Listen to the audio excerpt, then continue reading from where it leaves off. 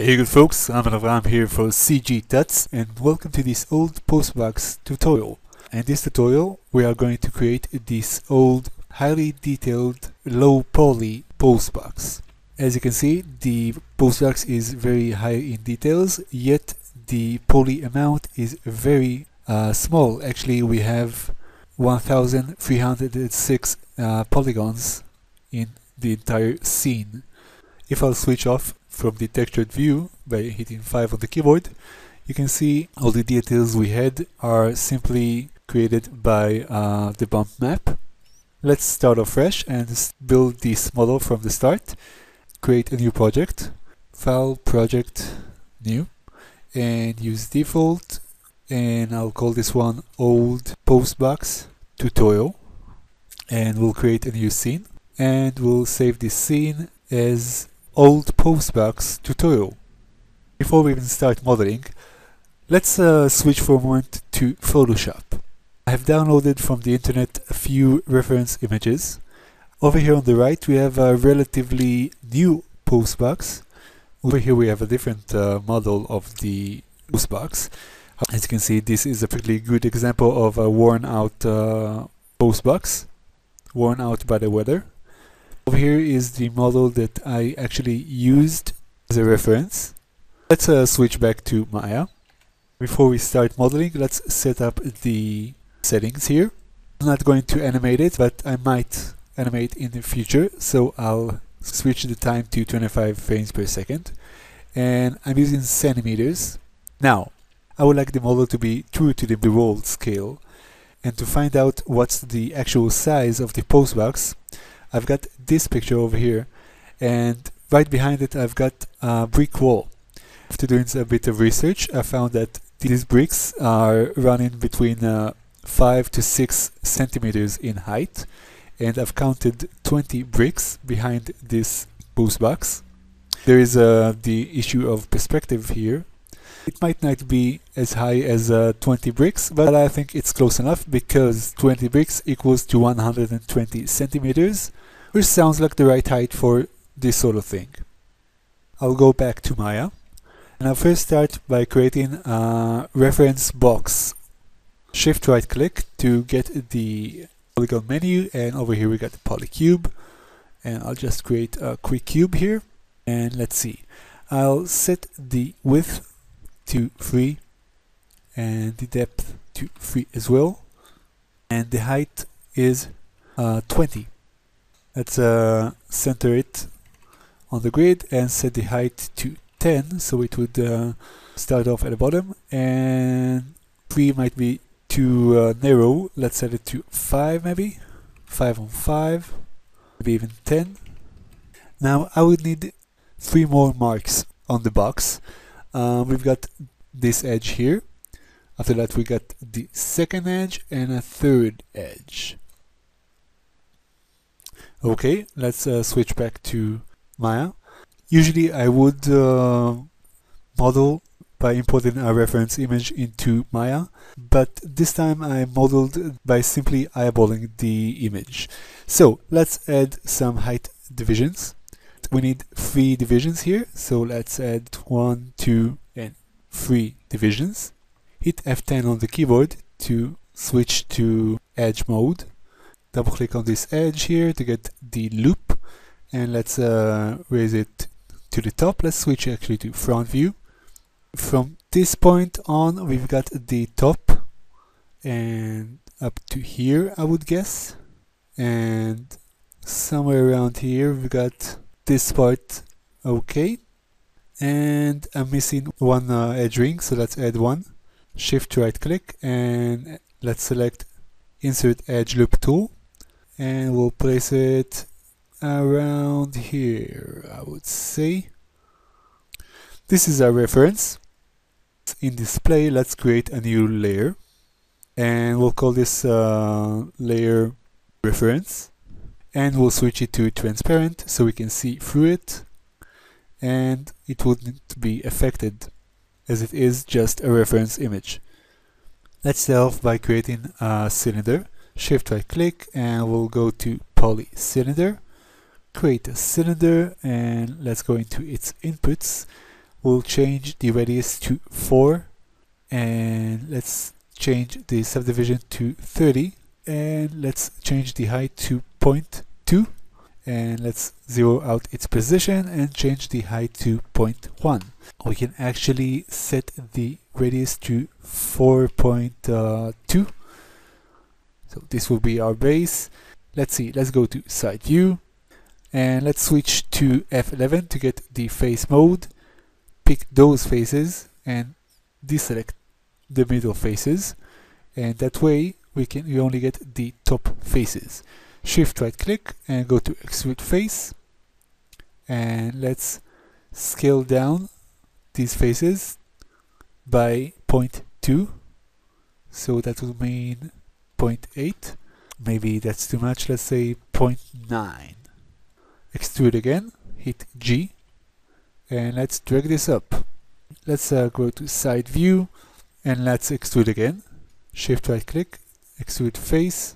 Let's drag it to 0.1 and extrude it by 0.1 as well. So 1.1 let's uh, extrude again and drag it up to 0.1 as well.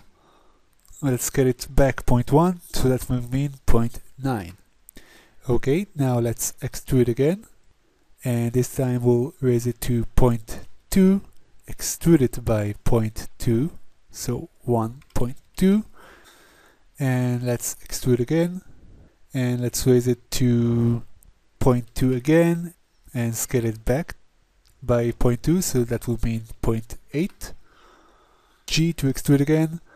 Raise it to 0.1 extrude it by 0.1 so 1.1 and extrude it again by 0.1 sorry 0.1 and scale it back. 0.9 okay let's extrude it again. This will be the hatch drag it back to half a square of a grid. And let's uh, do the same ornament we just did. Let's uh, extrude it again. So let's uh, extrude it up to here. Now let's create another extrusion hit G. And we need to extrude it up to this point I would say and maybe scale it a bit wider. And let's uh, extrude it again.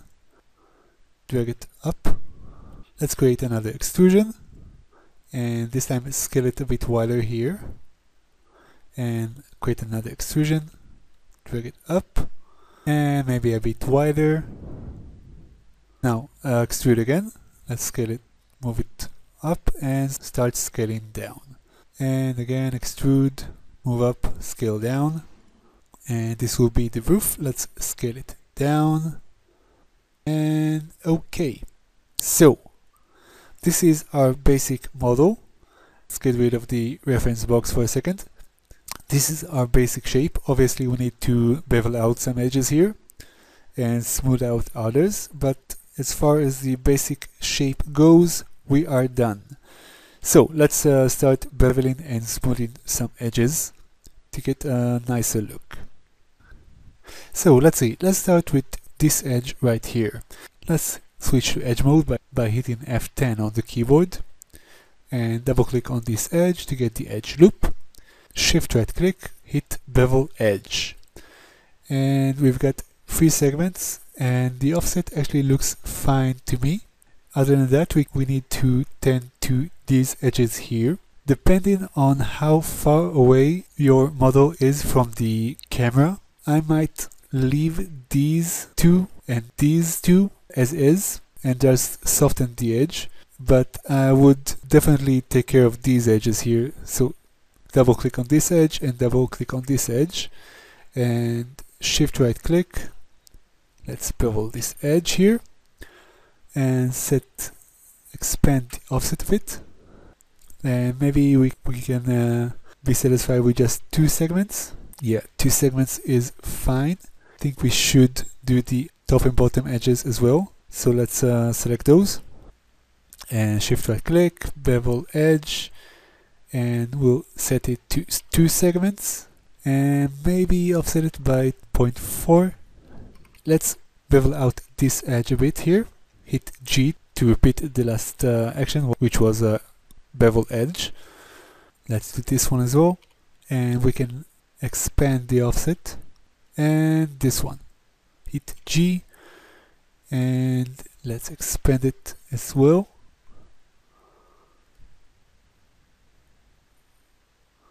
Let's see. Uh, obviously, we've got uh, some uh, hardened edges here which shouldn't be hardened, and others that are soft which shouldn't be soft. So let's uh, take care of that real quick. Let's uh, switch to edge mode once again by hitting F10 on the keyboard and, and mark all the edges in the scene or in the model.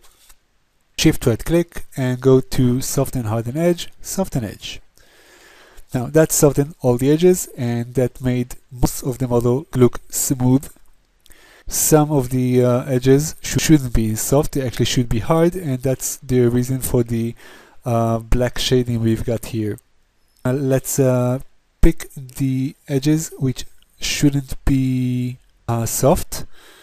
So that would be this one, this one, shift right click, soften harden edge and harden edge the little section here as well. Let's uh, double click on this one, double click on this one, hit G to repeat the process, and that would harden the edge.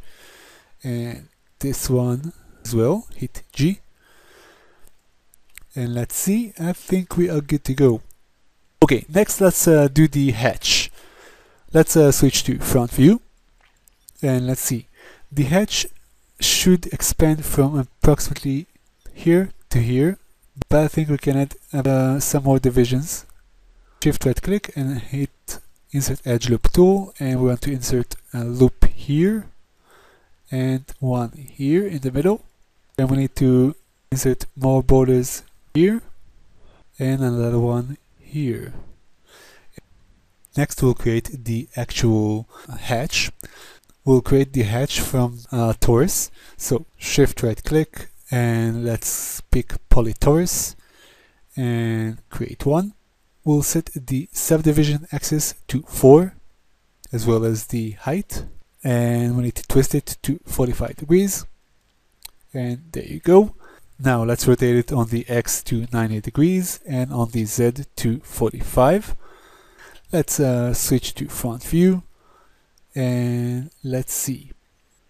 Let's uh, snap to the middle grid here we need to scale it down but as you can see the scale tool is offset by 45 degrees so let's uh, freeze the transformation modify freeze transformation and the scale is correct let's scale down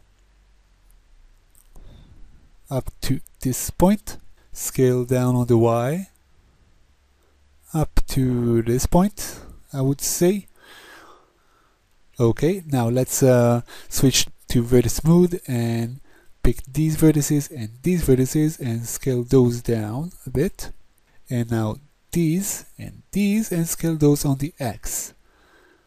Let's switch to side view to see how far inside it goes. That's uh, we can uh, drag it a bit more inside. So we can hit F11 to get the face mode. And we don't need these faces here. We want as less uh, polygons as possible. Okay. And we can also get rid of these faces. And yeah I think we are good to go. Actually let's just scale this one just a bit until we get rid of all the edges and uh, we can uh, see some edges on the top here Okay, scale it a bit more. We need to bevel out some edges here as well. So let's see. Let's switch to edge mode and we need this edge ring and this one as well. This edge, this edge, this one and this one. Let's uh, shift right click and bevel edge. All the edges are actually working fine for me. I think we just need to harden some edges here so let's see this one this one this one and this one can be hardened which would create a nice uh, crease here.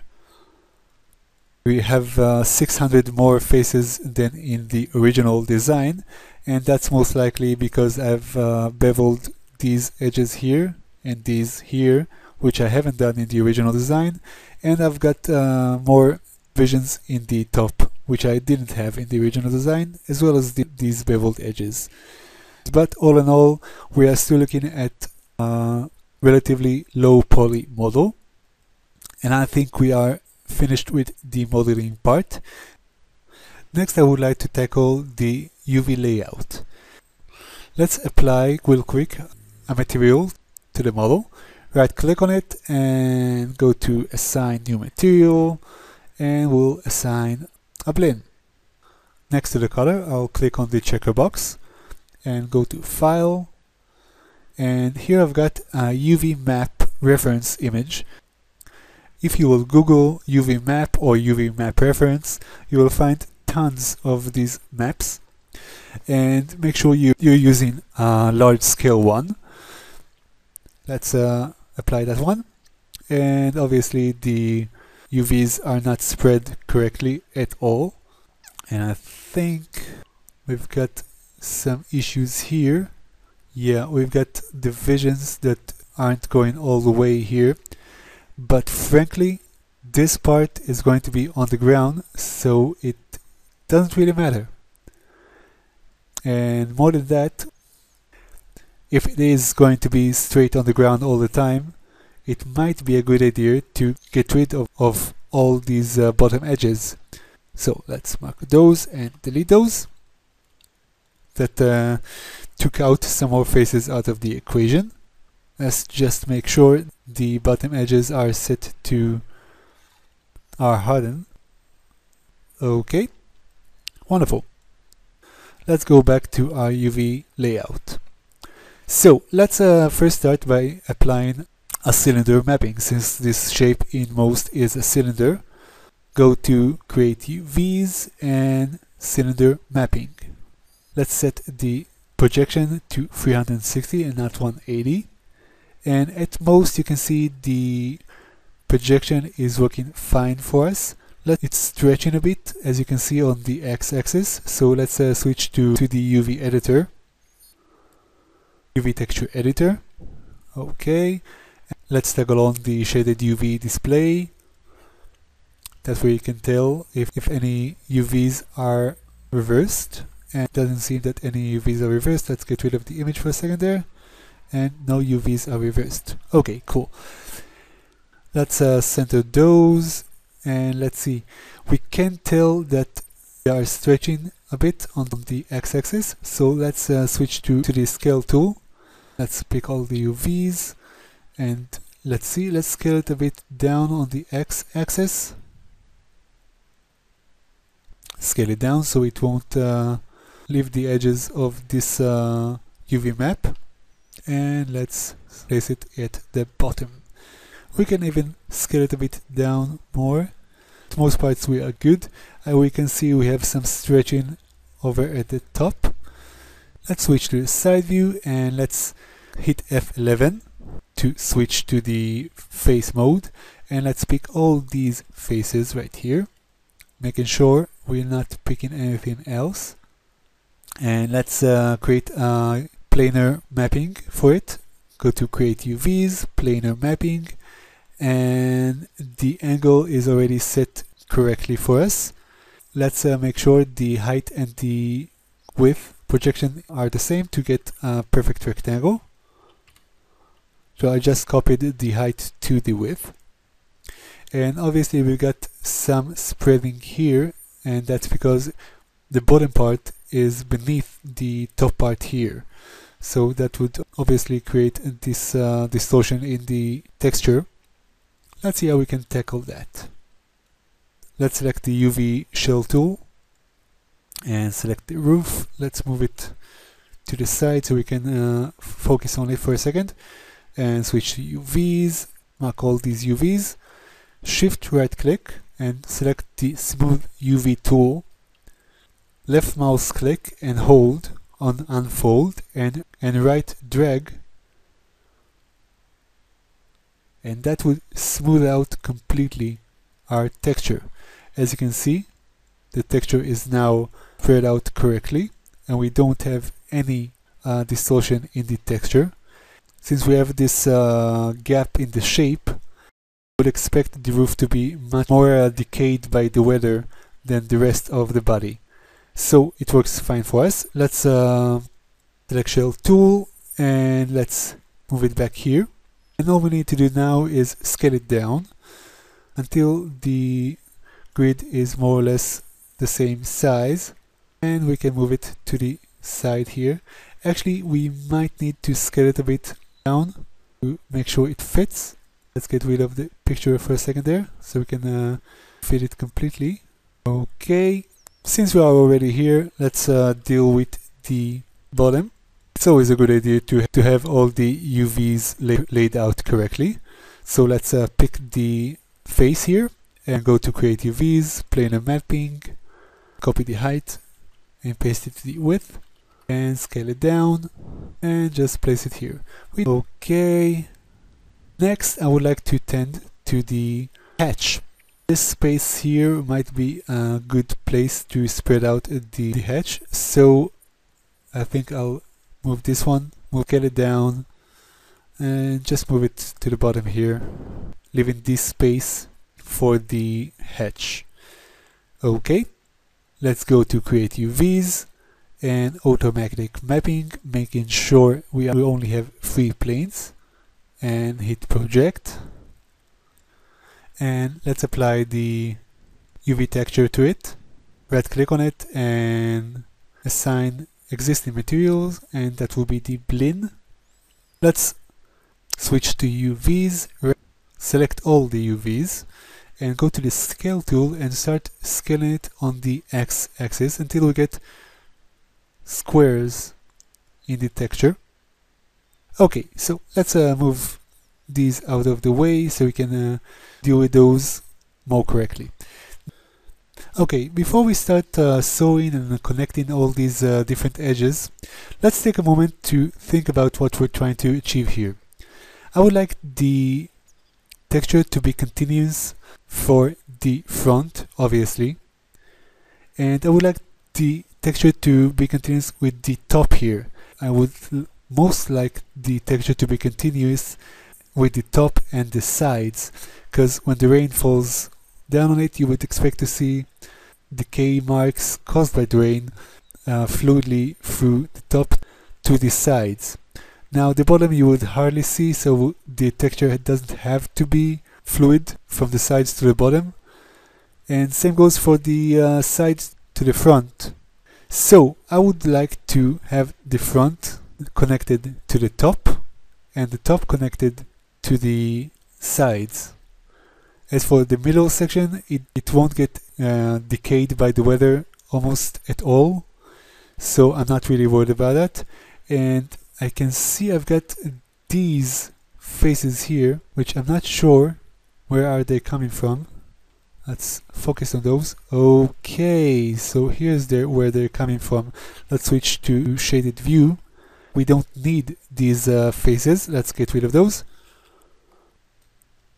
Okay, and over this side, yeah, we don't need those.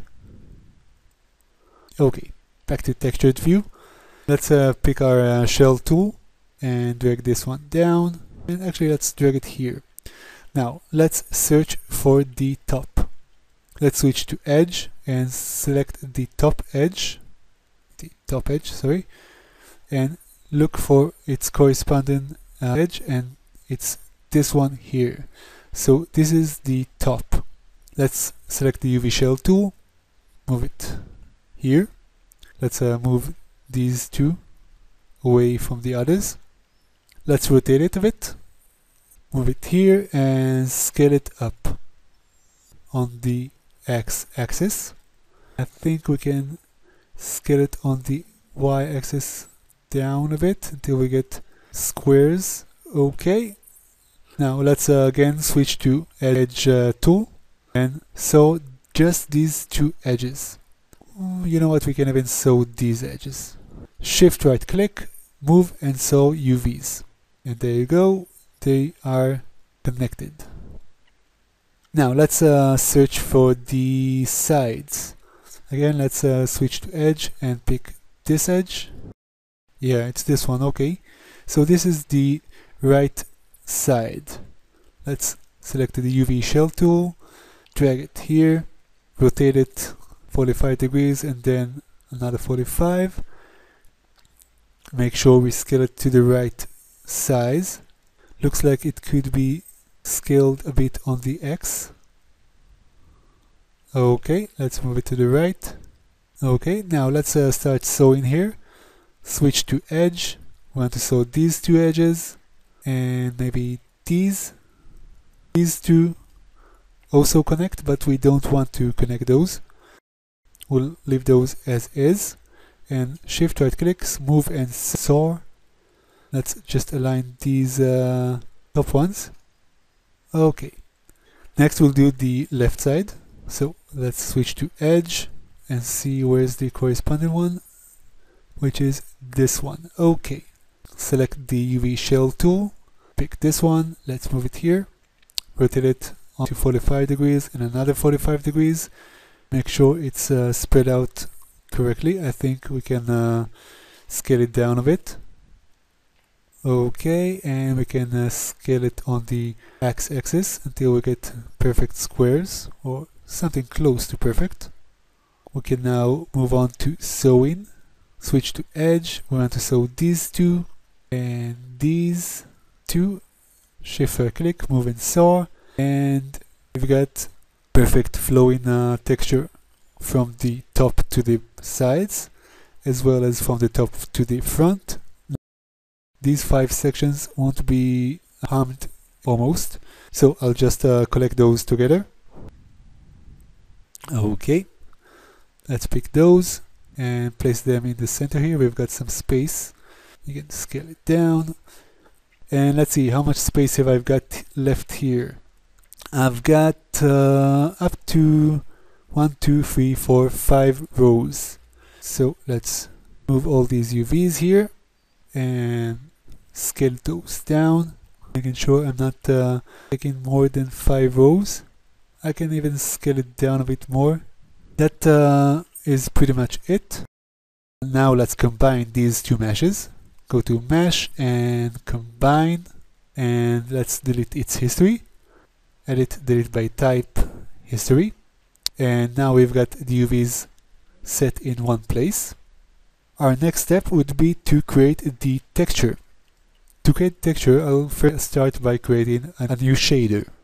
Right click on it, assign new material, and again I'm going to use blinn and this time I'll call it post box shader. The UVs here are reversed, so let's uh, take care of that. Reverse those, okay. That's the bottom, we won't be able to see it, but uh, it's good to keep things correct. In the next part of this tutorial, we'll create the PSD network shader.